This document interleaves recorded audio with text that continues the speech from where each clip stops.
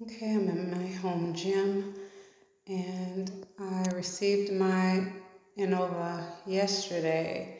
Just put it together this morning by myself and I absolutely love it. It is extremely comfortable, therapeutic.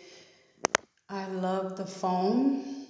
This is the lumbar support. You don't have to use it, it just snaps on in the back.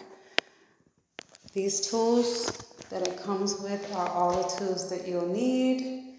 This is the box it came in, pretty big, kind of heavy, so you might want to teeter it back and forth instead of trying to lift it. Don't lift.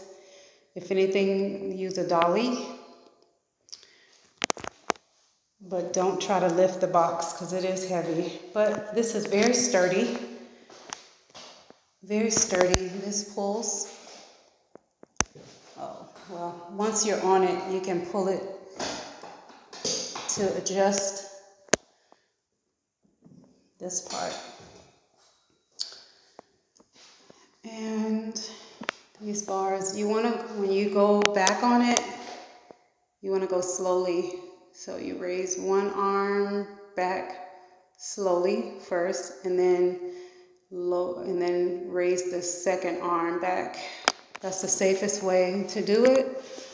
I have mine at 15. I think they recommend beginners starting at 15. The higher up you go, the more steep the angle. So here, the, the angle is about here.